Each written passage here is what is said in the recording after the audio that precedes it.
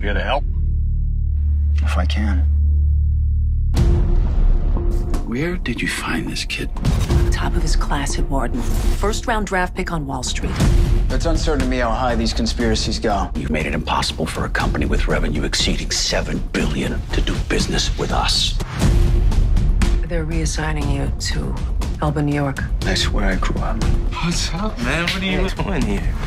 I'm an AML officer, anti-money laundering. What brings you in today? I need to talk to the owner. You're acting like you want to find something wrong. You're acting like I'm going to. No phone number, no email, just 10 million in cryptocurrencies. I had a client who was interested in that stuff. Baker farm with your daddy. He was offered seven figures. When I see things like this, I get pretty worried. You must know all kinds of things back there behind the curtain. Martin? We have a serious problem here. I'm pretty sure the Russian mafia is laundering money through the Omni branch here. Hey, man, you following me or something? Yes.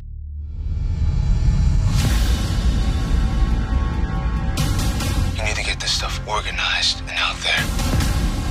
I found this on the porch. Hey, I'm Dad. These people are dangerous. I warned you. But nobody can be prepared for whatever that was. You're a very clever boy. Do I have what you want? No, let him go.